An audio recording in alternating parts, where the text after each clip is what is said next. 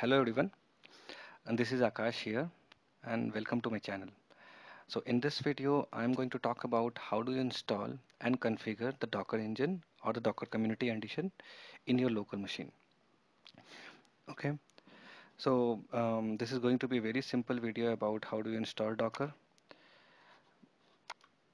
So as part of the installation, there, are, there is a prerequisite that uh, there has to be a Linux environment up and running in your local. So I'm not going to install Linux from the scratch over here, but I can guide you the multiple ways to create a Linux environment. So there are multiple ways you can have a Linux virtual machine. Okay, uh, so the number one process could be uh, use any of the cloud infrastructure provider like um, AWS, Azure, GCP, Alibaba. So all of these companies provide one year of free subscription um, for some of their services. Uh, for example, if you talk about AWS, in AWS, um, we have EC2 as a service using which you can create virtual machines. Okay. And um, this is the first option. So in this option, you might have to provide your credit card details. Uh, but please understand that these companies are not going to charge anything until unless you are not going to overuse their services. Okay? So maybe you can go through the guidelines of their services that how much you are supposed to use and which service which category of the services you are supposed to use for free. Okay?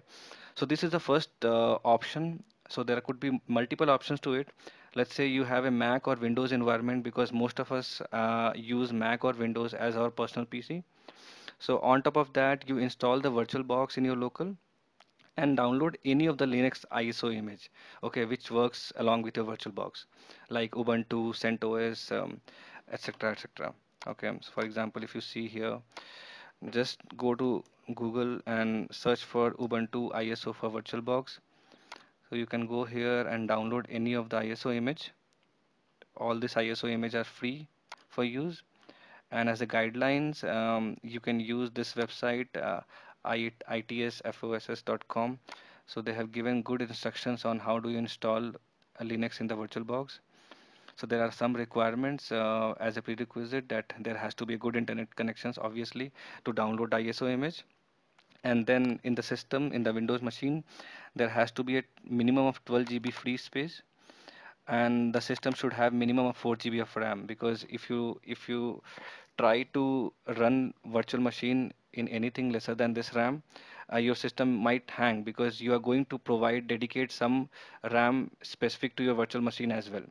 Okay so these are the requirements which you should fulfill. I guess most of us now has a computer which has RAM more than 8 GB or 16 GB so I guess this requirement everybody should have okay so this is about um, a prerequisite for Linux environment. So once you are up and running uh, with the Linux, you can follow. Uh, so for this example, um, sorry, yeah. So for this example, I'm going to use um, uh, Ubuntu machine.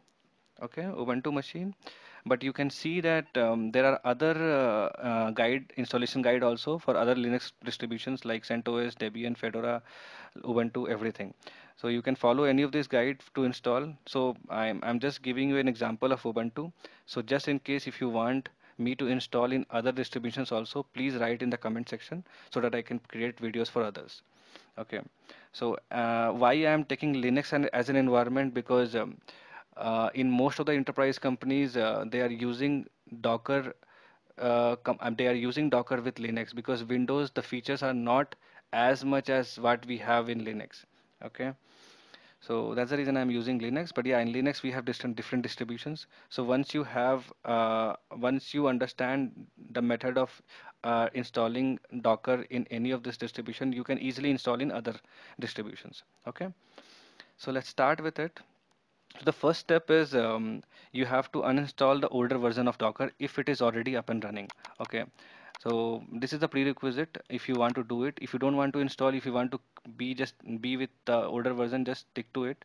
And if not, maybe you can just delete. This is the command in the Ubuntu environment because the, they use the package as apt-get remove and then remove Docker, Docker engine, Docker IO, containerd, everything once this is uh, once this is done so maybe if you can run it here let's let's start with my machine first. I'll just log into my machine.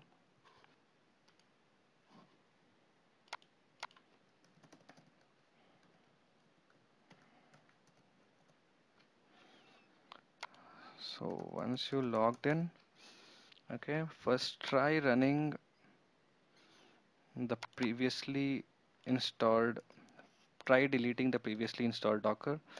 So this is the command. So this will delete everything. Okay. So it says that um, it is not installed it is not installed it is not installed and nothing is installed. So okay it is not removed. So this is very much fine. As you can see over here it is okay if the apt-get reports that none of the packages are installed. Okay. So once this is done since I have never installed this is a fresh machine. I'm going to start everything from the scratch. So let's start from here. Install using the repository. So first you have to update your repository. Update your apt-get repository. Okay. So once this is updated okay then run the second command. That is um, this one so what basically this does that uh, for running docker there are some uh, prerequisite packages which needs to be installed before installing docker. Okay so for example if you can see here we have apt transport https so this is nothing but this is again an app package. This is the apt transport that allow you to use the repository over https in a secured protocol okay?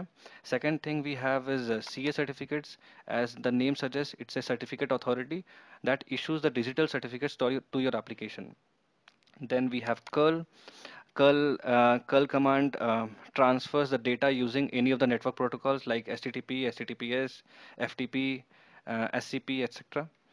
And then you have your G GNU PG. So this is similar to OpenPGP. So this allow you to encrypt all your data and communication. And the last we have is software properties common. So this uh, this allow you to easily manage all your distributions of software list, software sources list. Okay. So this is the prerequisite to install Docker.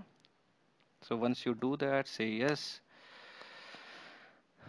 Once this is done, yeah then this is the command to add the gpg key okay so this is going to download the gpg key for your docker repository and this is going to add the gpg key in this apt key okay? So why we require that? So that so that we can securely verify the docker repository used in this machine okay?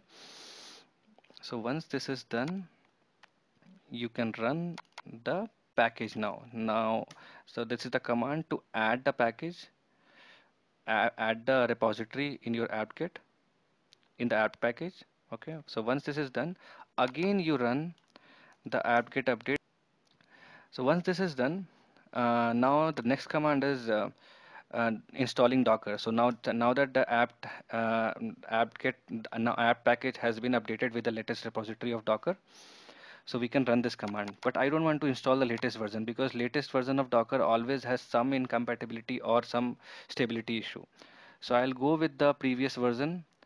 So let's start with let's run the command of apt get search docker sorry apt cache search docker. So this will list all the um, um, repo list in in the Linux environment. Okay so you can see over here this this shows the complete list of docker. Whatever comes with docker it shows the list. But i just need docker c and docker cli okay docker community edition engine and the docker's client cli okay so now let's search with let's search the version of this one. Docker show docker c. Okay. Sorry. Apt cache show.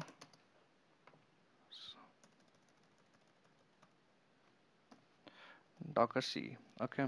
Oh so this shows the complete list over here for that particular package. So it shows the size of it. It shows the checksum all the kind of checksum for that. So I just need the version. So if you can see here we have the version somewhere here okay? So there are several versions. So maybe we can grab with the version.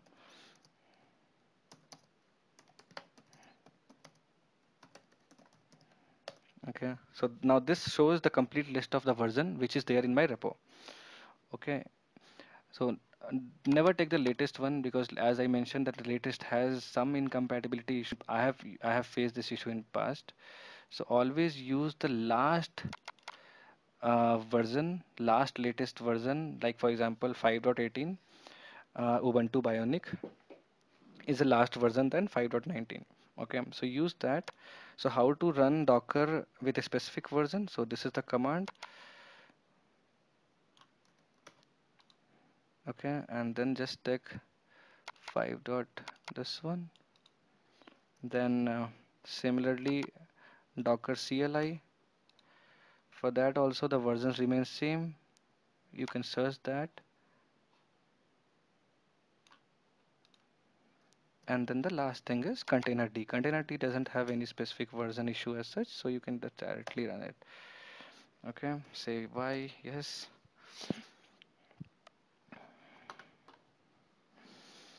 so now my docker is up and running. How do i check that? Slash sudo docker version.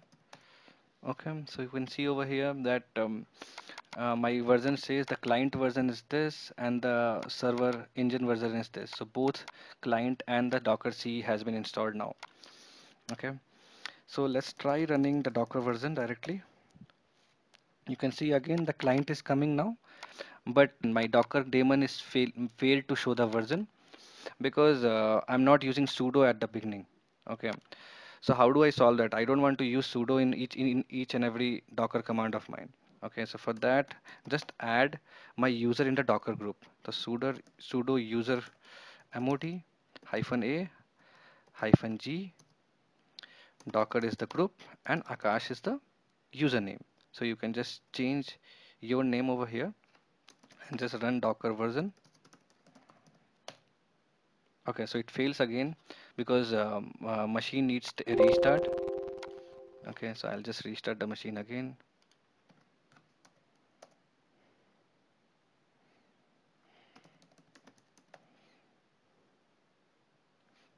Now just run docker version. Okay so yeah here you go.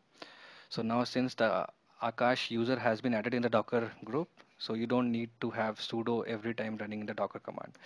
So just run docker and you can see all the list of objects which docker provides. Docker search docker start docker push docker pull everything. So docker images uh, is the command to list down all the images which are there in the local. Since there is no image which has been pulled since it's a new machine uh, it doesn't show any of the image. Docker ps is the command to list down the containers. So there is no container up and running. So that's the reason and so let's start and run a container. Docker run hello world. Okay so hello world is an image and run is the command which helps you in pulling that image and running it as a container. So you can split this command into two steps also that docker pull hello world and then do docker run hello world. Okay so this command help you in running both the commands at once okay? So now you can see the through the logs here you can see here that uh, first it says that unable to find the image locally. So as I, as I have mentioned in my previous video that docker will docker daemon will always try to check that particular image in your local machine in your local daemon in your local image list okay? If it will not be able to find it out there it will go to the docker registry and it will download from there.